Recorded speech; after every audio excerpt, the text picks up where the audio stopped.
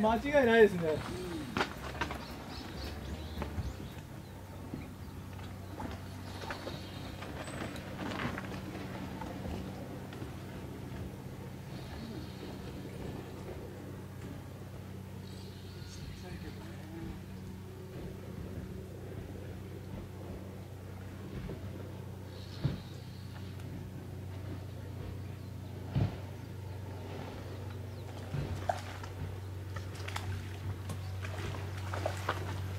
今のレディーやねえ何色ですか？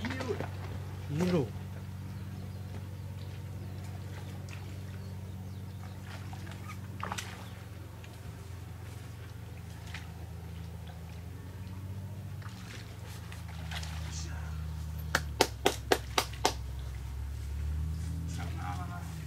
や色ですよね。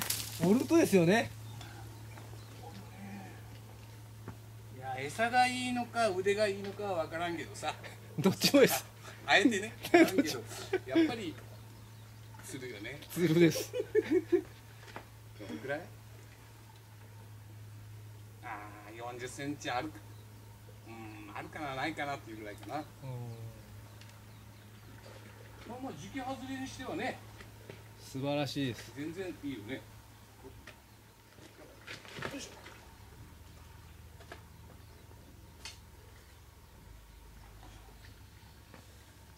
あー今日大体広山さんの血の釣りを見に来たけどそれは見れないです。よ見れないです。ものすごい条件の良かった時じゃないかなんま結構綺麗な綺麗なねなんかこう。綺麗な青い感じ。多分これ沖から入ってきとるやつやね。うん。今練り絵のイエローあの前その前まであのフグが多くてねイエローってもうかじられてすぐイエロー単体なら。あので途中からブラウンとかレッドとか使っとったけど途中から餌が取られんくなって。はい。で最初丸エビでやった時にちょっとハリスがグニョグニョってなって、であこんならイエローいけるんじゃねって思ってイエローを使った一発やった。へえ、やっぱフグがどこかに行ったもんなのかこの人たちが悔いが立ったのか。分からんけどそんな感じ。広山さん釣ってもらいたいんだけどな。もうちょい条件がいい時に連れてきてください。まあまあまあ今からと思うけど頑張ろう。ありがとうございます。ああよかった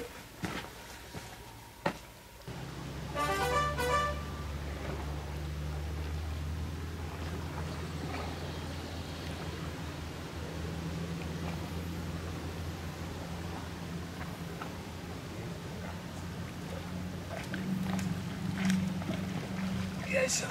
いしょ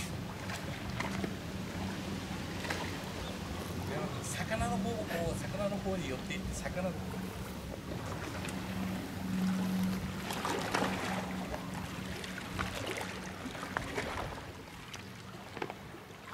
そこの魚。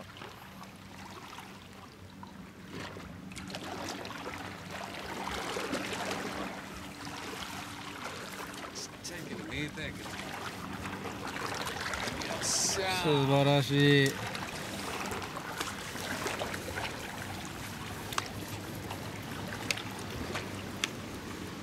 いいね。ちっちゃいけど。嬉しい。めっちゃ嬉しい。いいなあ。35センチぐらいかな。今のはスーパーハードの L で買ってきた。スーパーハード？スーパーハードで持つんですね。うんその前の一頭が残ってたっていう全然何も触っとらんかっへえたでもう一頭と思って。やったらそれに。今まででもずっと餌取られてたでしょ？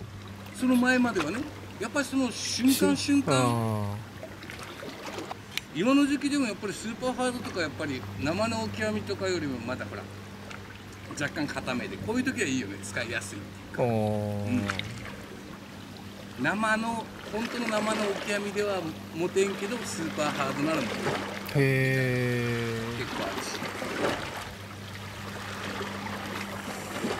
し。いるんですね。いるんですねやっぱり。怖いな。よしもう俺はあと1分ぐらい欲しいな。